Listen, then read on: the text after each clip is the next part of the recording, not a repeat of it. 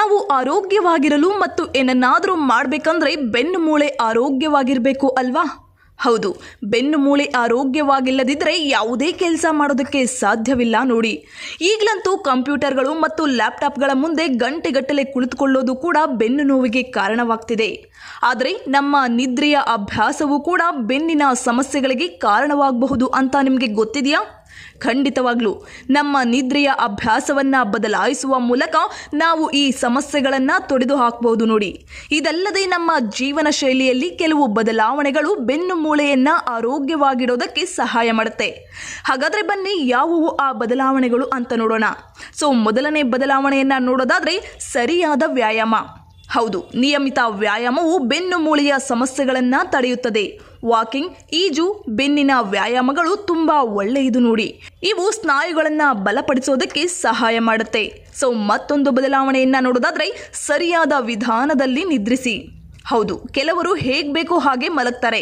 ಹೀಗೆ ಮಲಗುವ ಮೂಲಕ ಸ್ನಾಯುಗಳು ಮತ್ತು ಕರಳುಗಳು ಹಿಂಡಲ್ಪಡೋದನ್ನ ನೀವು ಗಮನಿಸಿರಬಹುದು ಅಲ್ವಾ? ನೀವು ಬೆಳಗ್ಗೆ ಎದ್ದಾಗ ದೇಹದ ನೋವು ಮತ್ತು ಬೆನ್ನು ನೋವು ಉಲ್ಬಣಗೊಳ್ಳುತ್ತೆ. ಅದೇ ರೀತಿ ನೀವು ಮಲಗಲು ಸರಿಯಾದ ಹಾಸಿಗೆಯನ್ನ ಕೂಡ ಹೊಂದಿರಬೇಕು. ಬೆನ್ನಿನ ಸಮಸ್ಯೆಯಿಂದ ಹೆಚ್ಚು ಬಳಲುತ್ತಿರುವವರು ಈ ಸಮಸ್ಯೆಗಳನ್ನು ತೊಡೆದು ಹಾಕಲು ಉತ್ತಮ ಹಾಸಿಗೆಯನ್ನ ಕೂಡ ಬಳಸಬೇಕು ನೋಡಿ.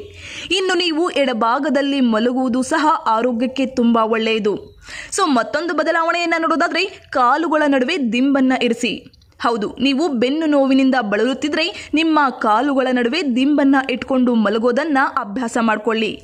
ಗರ್ಭಿಣಿಯರಷ್ಟೇ ಅಲ್ಲ, ಬೆನ್ನು ನೋವಿನಿಂದ ಬಳಲುತ್ತಿರುವವರು ಕೂಡ ಕಾಲಿನ ನಡುವೆ ದಿಂಬು ಇಟ್ಕೊಂಡು ಮಲಗೋದ್ರಿಂದ ಬೆನ್ನಿನ ಒತ್ತಡ ಕಡಿಮೆಯಾಗುತ್ತೆ. ಸೊ ಮತ್ತೊಂದು ಬದಲಾವಣೆಯನ್ನ ನೋಡೋದಾದ್ರೆ ಶಾಂತವಾಗಿ ನಿದ್ರೆ ಮಾಡಿ.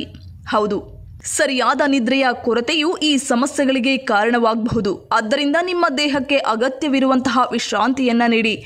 ಏಳು ಅಥವಾ ಒಂಬತ್ತು ಗಂಟೆಗಳ ನಿದ್ರೆ ಅತ್ಯಗತ್ಯವಾಗಿದೆ ನೋಡಿ. ವಿಶ್ರಾಂತಿ ನಿದ್ರೆ ನಿಮಗೆ ಒತ್ತಡ ಮತ್ತು ಖಿನ್ನತೆಯನ್ನ ತೊಡೆದು ಹಾಕೋದಕ್ಕೆ ಸಹಾಯ ಮಾಡುತ್ತೆ. ಇದು ರೋಗ ನಿರೋಧಕ ಶಕ್ತಿಯನ್ನ ಸಹ ಸುಧಾರಿಸುತ್ತದೆ.